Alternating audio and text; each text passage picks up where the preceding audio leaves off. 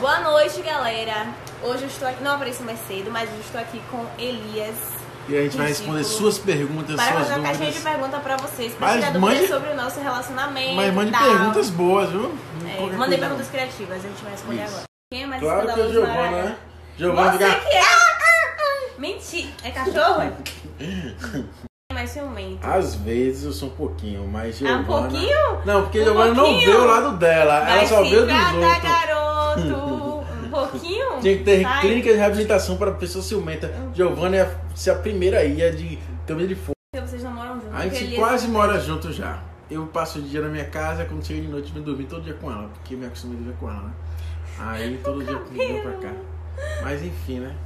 Ó, vai, velho. Ó, vai que esse cara tá fazendo com o meu cabelo. Ah, tá pegando seu piercing.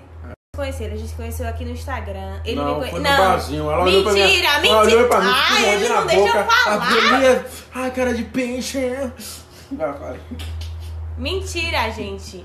Pera aí.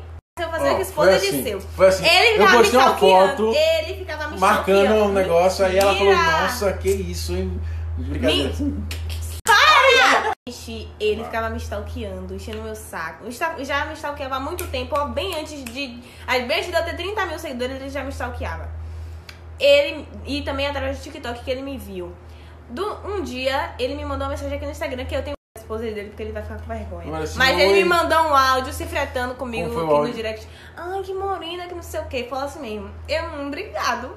E ficou nessa, ao muito tempo, a gente conversando pelo Mentira, Instagram. aí você começou a me dar brecha, começou a falar assim, Mentira, gente, que eu não dava brecha nenhuma a ele, entendeu? E ele ficava, a gente ficava conversando aqui no Instagram. Depois do Instagram, a gente migrou pro WhatsApp. Ficou conversando no WhatsApp por muito tempo, né? E nisso, a gente tava na, na- no auge da quarentena. Eu tava lá em Teodoro Sampaio e ele aqui em Salvador.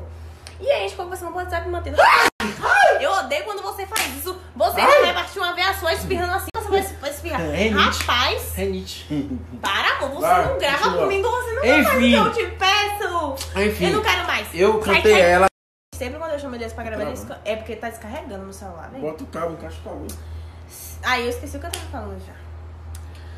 Resumindo, ele me chamou para gravar, né? Através do- de- dos vídeos que- meus que ele viu no TikTok, ele gostou dos meus vídeos e me chamou para gravar. E aí a gente começou a gravar. No aí no início, dia da gravação não eu tô tinha... pegando no meu negócio. Aí, Mentira! Mentira! Ele que vem! Ai, que mentira! Meu Deus! ela ficou quietinha, eu achei até que ela era tímida, né? Ficou quieta, a gente Verdade, gravou e tal. Depois foi pra casa, aí depois a gente gravou de novo e tal. Depois foi pra casa. Aí eu ficava falando com ela no WhatsApp, fretando, e ela É, e devagar, lerda. Mentira, eu nunca te queria. Não me queria, depois. Não queria nada. Aí depois quer que eu fale o resto? Ah! Querem ter filhos? E aí, você quer ter filhos comigo? Não, já não tem? Tem um gatinho, mas tipo, Não, filhos. o que eu fiz. Para! Aí, eu... Elias tem ciúme das suas danças. Não. Porque o corpo é dela, ela faz o que ela quiser. E antes de me O conhecer, ela já importante, dançava. exatamente, e o importante de tudo é manter o respeito. Isso. Qual o melhor presente Elias já te deu? A presença dele na minha vida. Esse foi o melhor presente que você já me deu, Porque tipo. presente, presente não tem. Não, mas eu tô falando de verdade. Hã? Claro.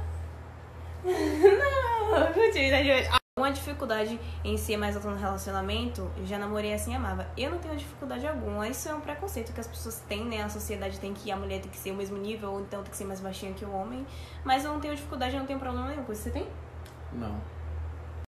As pessoas às vezes perdem de ter alguém especial na sua vida por é, querer Olhar muita aparência. olhar a aparência e tipo, você conhece a pessoa aqui, se nem conhece ela, já começa a, Julgar. a criticar, É. falar alguma coisa, aí você acaba perdendo a pessoa da sua vida.